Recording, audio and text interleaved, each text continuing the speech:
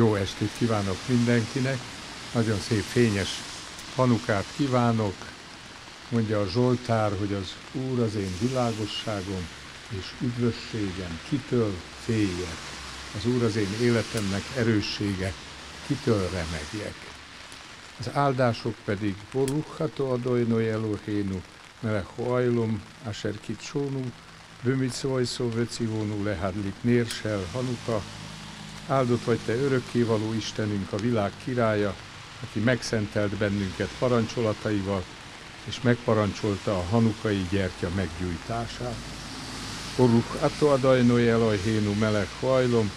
se ászán niszim lá voténu, bajámim hachém bizman haze, áldott vagy te örökkévaló Istenünk, a világ királya, aki csodákat tett őseinkkel akkoriban, és a mai napon is. Kedves barátaim, egy pár szót hadd szóljak. A második áldásunk azt mondta, hogy a, áldott az örökkévaló, aki csodákat tett őseinkkel akkoriban, és csodákat tesz most is. Tehát a csoda az itt van mindig a levegőben, lóg és keresi az alkalmas embert, aki által, egyszerű hétköznapi ember által a csoda ezen a földön bekövetkezhet. Miről szól Hanuka? Arról, hogy időszámításunk előtt 165-166-ban a ö, negyedik Antiochus Epiphanes vezette ö, szír ö, görög birodalom legnagyobb hadseregével szemben egy maroknyi kis ö, hétköznapi emberekből álló csoport, háziasszonyok és diákok voltak leginkább közöttük, megelégelte azt a zsarnoki rendszert, amiben addig éltek, voltak kénytelenek élni, mert negyedik Antiochus Epiphanes Istennek képzelte magát, és azt gondolta, hogy minden emberi törvény jó ízlés felett állhat, az áldozat helyére a disznóölést hozta nemzeti hát ügyként burkát töltöttek a, az emberek, a rendes iskolákat, színházakat bezáratta, és ö, testgyakorló helyeket hozatott létre, sportcsarnokokat, és stadionokat kezdett építeni. Valóban így volt, ezt nem, nem ne, nehogy valaki azt higgye, hogy valami, valamit mellé beszélek, tényleg így volt, és, és kötelezővé tette, hogy, hogy mindenki a lelke mélyéig működjék együtt, mert aki nem működik együtt ebben a nemzeti együttműködési rendszerben, az egy idő után lassan talán levegőt sem vehetett volna. És a helyzet az, hogy nagyon sokan érvényesülni akaró fiatalok is beálltak, úgy gondolván, hogy az élet rövid, nem érdemes áldozatokkal megnehezíteni saját érvényesülésünket, és beálltak a sorba, és megjelentek egy napon, egy kicsi településén, Modinben, egy Matitjáú nevű öreg nyugdíjas főpap volt ott, kicsit kopaszodó, őszakállú ö, ember, akit felszólítottak, hogy mutasson be sertés áldozatot ő is, és bizonyítsa ezzel azt, hogy, hogy része ennek a megegyezésnek, amire ö, immár igazán kényszerítenék sem kell a lakosság nagyobbik részét, és ő elöntötte az indulat, és csapta ezeket az embereket, akik, akik erre akarták őt kényszeríteni, elmenekült a hegyek közé, és az emberek követték, követték őt. Ő egy éven belül meg is halt, de a fiai azok beálltak ebbe a szent ügybe, és hát azt hiszem egy kivételével valamennyien elestek a küzdelemben, de most ezt azért említem csak, mert, mert olyan nehéz hozzászoknunk ahhoz a gondolathoz, hogy igaz ügyek győzelme lehetetlen áldozatvállalás nélkül, és az a nép, amelyik ezt nem tanulja meg, soha nem lesz szabad. És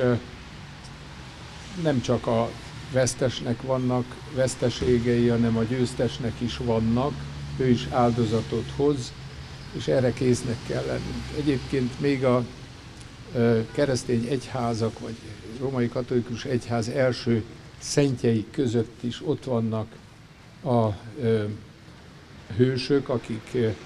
ebben, ezekben a küzdelmekben elestek, Hanna és a fiai, akik az életüket áldozták azért, hogy a holnap szabadabb és szebb legyen, ami pedig a fényeket jelenti, nagy csoda történt ott, néz Gadol Haya Sam, mondjuk van egy kis, kis, kis pörgettyű, kis tenderli, van nálam jelképesen egy pici, pici kis Renderli, amit mindig a zsebemben hordok, Gródianától kaptam, amin e, lévő betűk erről szólnak, ezzel játszanak a gyerekek. Ilyenkor a nagy csoda pedig abban állt, hogy mikor elkezdték rendbe tenni a templomot, fertőtleníteni, ahogy a Dunaparton a, a cipőket hajdan, mikor ö, sertéscsülköt dugdosott valaki, azt gondolván, hogy ez egy szellemes gondolat, és, és, és harmóniában van a nemzeti együtt gondolkodással, akkor utána ilyen pörzsölővel kellett fertőtleníteni a cipőket, az áldozat ö, túl esett szeretteink emlékhelyét, és hasonlóképpen kitakarították, újra szentelték a templomot, és találtak egy sarokban egy korsónyi olajat, nyolc korsónyi olajra lett volna szükség ahhoz, hogy folyamatosan égni tudjon a, a menóra, ez menóra volt, nem hanukia,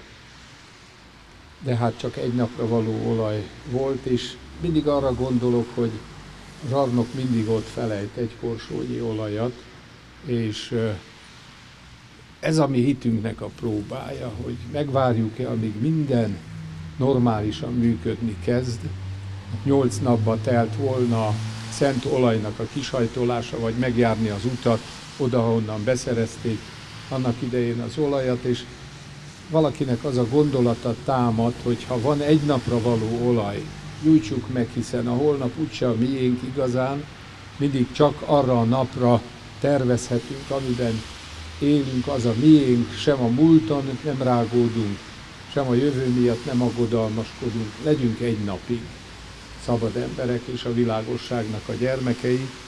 és a nagy csoda abban állt, hogy ez az egy napra való olaj nyolc napon át égett. Csak meggyújtani kell, csak megtenni az első lépést, csak egy napig szabadnak lenni, és az Isten pedig adja hozzá a maga áldását, és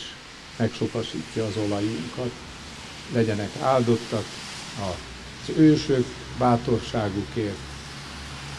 lehetőséget adtak nekünk arra, példát vegyünk róluk, és